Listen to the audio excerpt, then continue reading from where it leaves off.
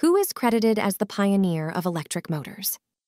William Sturgeon, 1783 1850, the English physicist and inventor, pioneered electromagnets and played a pivotal role in creating early practical electric motors, shaping the field of modern electrical engineering.